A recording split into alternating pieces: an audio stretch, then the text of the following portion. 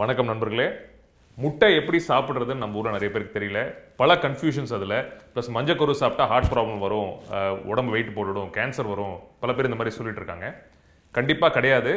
வெள்ளைக்கருவில் பார்த்தீங்கன்னா புரத சத்து அதிகமாக இருக்குது புரோட்டீன் அதிகமாக இருக்குது மஞ்சக்கருவில் நம்ம உடம்புக்கு தேவையான நல்ல விஷயங்கள் நிறையா இருக்குது அதனால் மஞ்சக்கரு சாப்பிட்றது தப்பு கிடையாது. என்ன நல்ல விஷயங்கள்னு பார்த்தீங்கன்னா choline lutein zeaxanthin omega three acids fatty acids இந்த மாதிரி பல விஷயங்கள் உடம்புக்கு நல்லது பண்ணக்கூடிய விஷயங்கள் அதில் இருக்குது ப்ளஸ் இது சாப்பிட்றதுனால கொலஸ்ட்ரால் வருமானா? கண்டிப்பாக கிடையாது. Trans இது வந்து ஆய்விலே நிறைய பேர் கண்டுபிடிச்சி அதை ப்ரூவ் பண்ணிட்டு இருக்காங்க. Trans சொல்லுவோம் இல்லையா? இந்த ப்ராசஸ்ட் ஃபுட்ஸ் அந்த மாதிரி விஷயங்கள் இருக்கிற சேச்சுரேட்டட் ஃபேட்ஸ் அதனால தான் உடம்புல கொலஸ்ட்ரால் வருமே தவிர உணவு மூலமாக நம்ம கொலஸ்ட்ரால் இந்த மாதிரி மஞ்சக்கருடு இருக்கிற விஷயங்களால் கொலஸ்ட்ரால் வரும்னா கண்டிப்பாக கிடையாது.